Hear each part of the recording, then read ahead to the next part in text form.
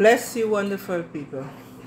Proverbs 18:21 declares, Death and life are in the power of the tongue, and those who love it and indulge it will eat its fruit and bear the consequences of their words.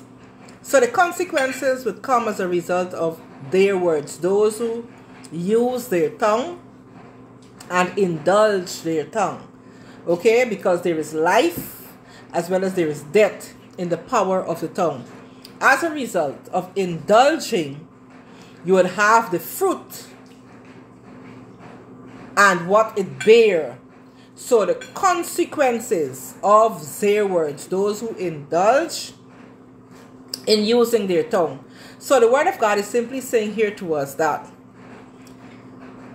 based on our words will determine our world.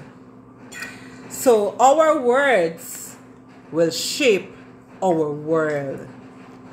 So where there is a revelation of this verse, Proverbs 18:21, we we would begin to align our words, begin to speak correctly, speak words of life and not that of death.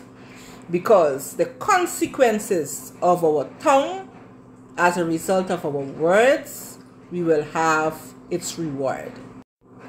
Therefore, our words will shape our world. So the words that comes from our mouth will shape our world or determine what our world will look like. A matter of fact, we have to begin to align our words with that of the principles and the word of God and speak life. When we speak life, we will have life. We will see the manifestation of life and that more abundantly.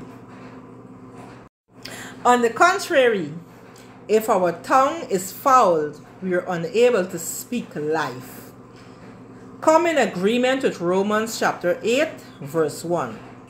Persons struggling with the way they speak and the words that comes out of their mouth have not come in agreement with the word of God with relation to our new life. So they're struggling with self condemnation. Romans chapter 8, verse 1 said, Therefore, there is now no condemnation for those who are in Christ Jesus. Okay? Who believe in Him as Lord and Savior. So, where there is an unbelief and doubt and lack of agreement, you would find condemnation.